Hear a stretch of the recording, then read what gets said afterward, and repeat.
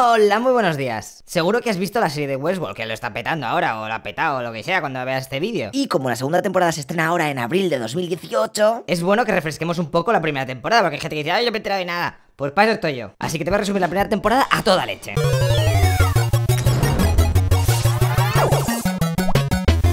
Recordad que estamos en el Parque de Atracciones del Oeste, que está petado de robots, de jugadores y de técnicos. Y vamos a empezar a hablar de esta serie acá de la mano de Tibi, que es un Mindundi, el cual está enamorado de Dolores. Pero como su trama es súper aburrida, que le den.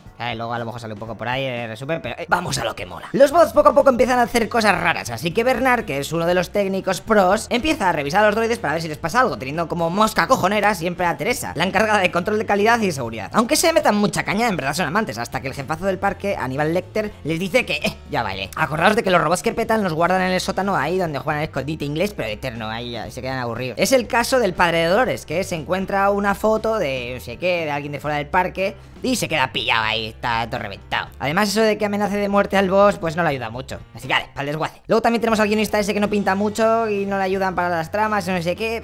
Pero, venga, ya vamos a, lo bueno. Viajamos al pasado para ver cómo llegan al parque dos tíos. El de Colgados en Filadelfia y Caspian, el de Narnia. Que si no lo sabías, es este, ¿eh? Maquillado diferente, pero es él. Este último va de flipado ya que ha estado varias veces y juega normal. Mientras que William, que es un Nova 1, va de pringui y se enamora de Dolores. Mientras van haciendo misiones para luchar en la guerra civil o no sé qué, dejan tirado al colega este que va de flipado y se lía. Luego hay unos indios, llegan a una iglesia enterrada que hace flashbacks a Dolores, no sé qué, hasta que se encuentran al cuñado, que ha conseguido hacerse mucho más pro. De hecho, aprovecha para torturarla eh, delante de la cara del que no juega Rankeds, porque el TS se le peta y por eso sus colegas no le invitan y pasa de jugar con Giris que van a su bola y están todo el rato su cablear. Así que ella se escapa, él le dice, huye, huye, que ya cuando eso te voy a buscar. Va, pues venga, pues hasta luego. Cuando William consigue soltarse, va donde el hermano de su futura mujer, porque recordad que son cuñados, le desnuda y lo manda por tabaco. Pero cuando regresa a la City, ay amigo, vuelve a ver a Dolores, pero el corazón se le rompe ya que ella no le recuerda, ya que es un bot y está todo el rato reiniciándose y todo eso. Claro, eso le afecta tanto a Billy que se vuelve malo. Llevándonos al presente, donde después de haber intentado volar la con las bolitas verdes esas míticas de la roca, vemos cómo ha cambiado el personaje, matando, está mutilando a todo el que pilla, violando a Dolores, incluso un caos. Y es que el tío este quiere encontrar el centro del laberinto. Una idea suya de que en el fondo de todas estas tramas hay un algo más guapo. Y está decidido a encontrarlo porque sabe que eso que está escondido mola 3 kilos más que lo que juega el resto de la peña. Después de su aventura y buscando cosas del laberinto, llega a una iglesia donde se encuentra Dolores, la cual está esperando a William, o sea, a, su, a, su- a él, pero del pasado. Porque se la está yendo la perola al máximo. Si es que no saben en qué día vive la pobre. Pelean un poco tal cual hasta que llega Hawkins y le dice: Congratulations, tío, has llegado al centro del laberinto, eh, has ganado mi amistad. y- Que amistad ni que leches, vaya mierda. Yo lo que estaba buscando era un lugar donde los bots jugasen en modo hardcore. Tú tranqui, ven a la gala a cenar que vas a flipar con lo que tengo pensado para ti. Y ahora ponemos esto en pausa porque vamos a hablar de otra trama. La de la prespiputa, que es un bot que vale, que empieza a tener sueños como si tuviera una hija, y eso la emparanoia mucho, así que cuando aparecen Epi y Blas, que son dos cirujanos que crean la parte más, tío, ¿por qué narices estáis haciendo eso? Parar, y la estáis liando mucho. De, de toda la serie, ¿eh?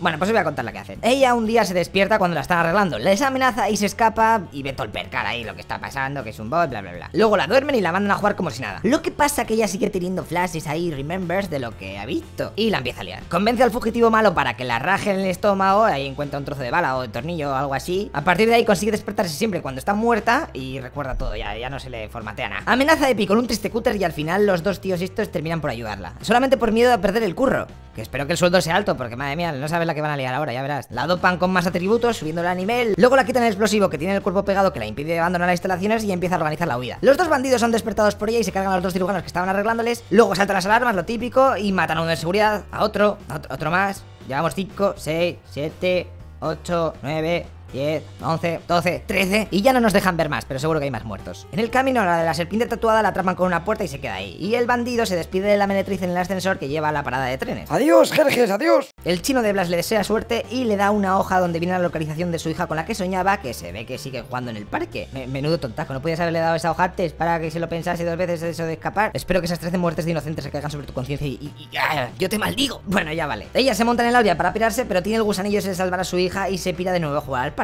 Atentos que se ha dejado el bolso dentro del tren. Algo que podría ser un fallo de Racor o un descuido si no llega a ser porque todo lo que ha hecho, eso de escapar y tal, alguien se lo había programado para que lo hiciese. Un tal Arnold. ¿Y quién es Arnold? Pues con esta trama es con la que vamos a acabar. Algunos bots están petándose en las partidas, hacen cosas que nadie les ha dicho que hiciese, ahí están un poco a su bola. Por lo que el ayudante de Bernard empieza a investigar todo aquello, ya que la encargada de calidad está poniendo pesa a pesa. Su mini CSI acaba cuando encuentra el lugar donde se emiten las órdenes nuevas a los bots. Pero, ay amigo, Bernard la mata. Pero, espera un momento, ¿cómo que Bernard la mata? Pues eran colegas, ¿no? ¿Qué está, ¿Qué está pasando aquí? Es que complicado es todo esto, eh. Bernard en verdad es un bot creado por Anthony Hawkins y que le puso la apariencia de Arnold. Que, por si no lo sabes, Arnold era el socio de Anthony y los dos crearon el videojuego este o lo que sea, el parque. Y este murió asesinado a posta por Dolores, la cual le instaló un nuevo software porque quería que los bots no tuvieran limitaciones. Ah, y es que además está un poco tocado la cabeza porque se había muerto su hijo y dijo, mira, pues me suicido, pero que me mate Dolores, que así queda más guapo el plano. Así que ale, Ok, ahora en el presente Bernard también mata a su ex amante porque se había enterado de todo el y se iba a chivar a la junta directiva para que le echasen a Anthony porque está pasándose un poco. Antes de llegar al final, recordaros que como Jango Fett, el protagonista se ha construido un pequeño bot, sí, a su imagen y semejanza de cuando era niño. ¿eh? No aporta nada a la historia, pero bueno, yo te lo digo por si acaso te preguntabas quién era ese chaval. Y ahora sí que sí, el final apoteósico. En el discurso de presentación del nuevo iPhone o algo así, va Dolores y se carga al jefe. En verdad estaba todo planeado. Acaba de empezar la rebelión. De hecho, del bosque aparecen los bots que estaban siendo guardados en el trastero porque se creían que estaban rotos. Qué Lo que pasaba es que el tío este estaba instalándoles el nuevo software. Bueno, pues salen y empiezan a pegar tiros, hiriendo a Harris en el brazo. Que parece molarle que a partir de ahora el nivel de juego se ha puesto en nivel Super Final Boss, eh, Elite Elite Pro.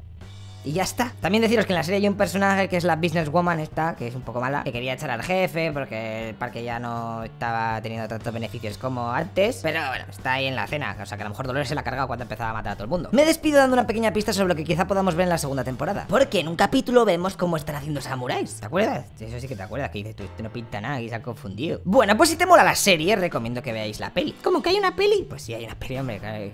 Es bastante viejuna y está un poco así, así hecha. Además que está todo comprimido, claro, que en una peli no te cabe lo mismo que en una temporada de una serie. Pero vais a ver alguna cosita que no sale en la serie y a lo mejor luego las meten, ¿eh? Y ya está. Espero que os hayáis entrado de todo. Si me deja alguna cosilla o me he confundido algo, pues me lo dices, ¿sabes? Que Arnold no me instaló bien el lío y está un poco petado y entonces no me acuerdo de todo. Así que si quieres, mientras esperas a que salgan los capítulos, te puedes ir viendo vídeos que tenemos en el canal de resúmenes de otras series o de películas y así te partes un poco el hojaldre y recuerdas cosas. Venga, tíos, pues pásalo bien y tener cuidado con las alergias. ¡Hasta luego, loco Pixas!